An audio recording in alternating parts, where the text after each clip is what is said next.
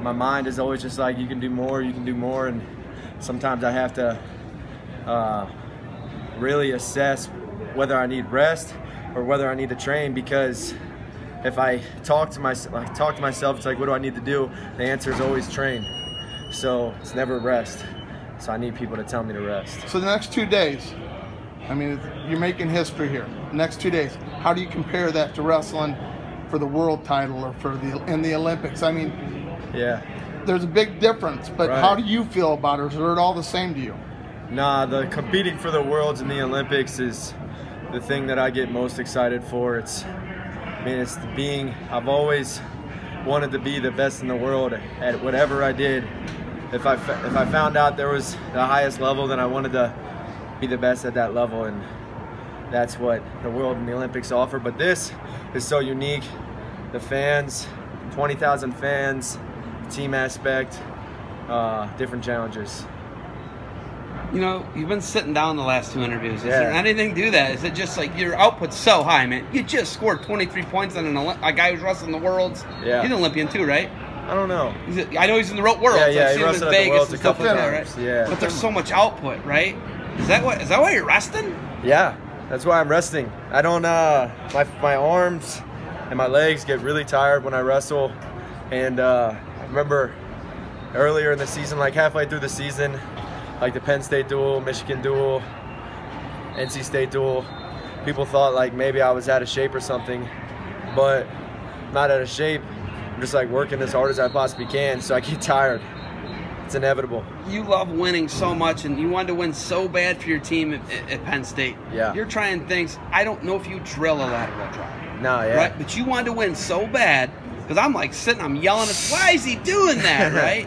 but you want to win so bad. Is it just like this burning in your stomach, this ache in your belly? You just, you just long for it and you want it so bad?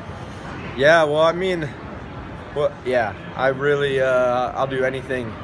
I'll fight anyone. I'll do anything that needs to be done uh, to compete at my highest level and to help my team.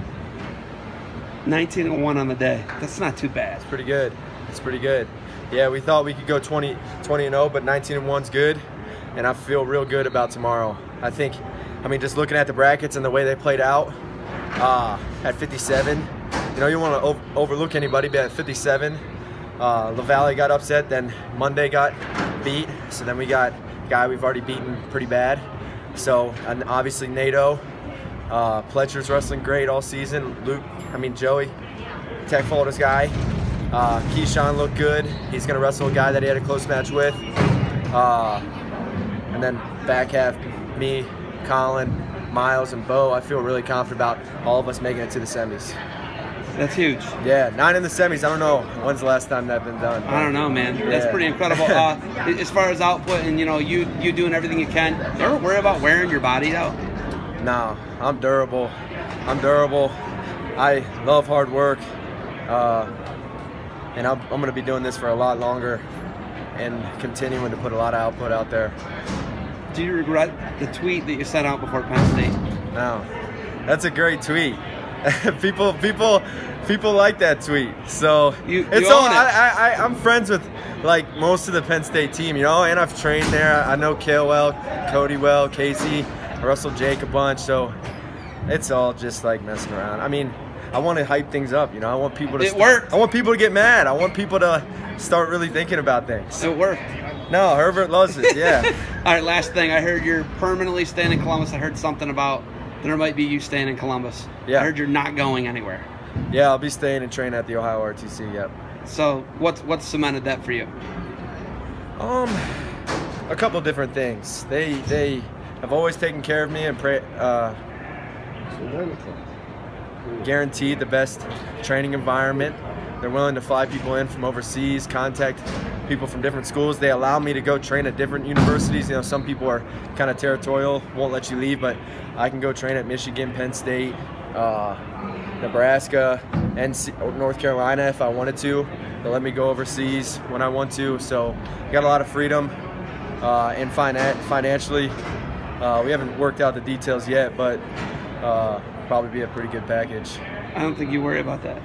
Oh yeah, well it's nice, but yeah, I like wrestling. I love wrestling, so Yeah. Can you tell me about this tweet again? I caught that on the tail.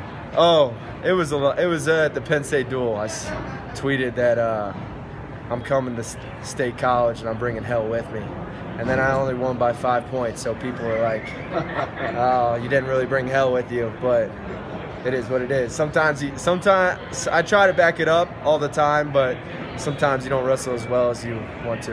Do you call it trash talking or do you just call it fun? A bit of both. I want I want to I want people to get excited about it and be like, can Ohio State do this? Or I want people to get mad. When people are mad, they want to watch. When people are happy, they want to watch. So many different things that draw people in. So I just want to, and people just love wrestling, so they're going to come watch wrestling for that reason as well. But I feel like uh, if I can get under some people's skin and make them really want us, want us, want to see us lose, then uh, I don't know. I, it's no big deal. Have you said anything here as far as no, not really. billboard? No. Oh, no, not yet. I got a question. When, when are you going to two knee pads, like the great ones? No, I'll never move on. Yeah. I'll never move on to two knee pads. Hey, good luck tomorrow. Yeah, thanks. Thanks, appreciate it.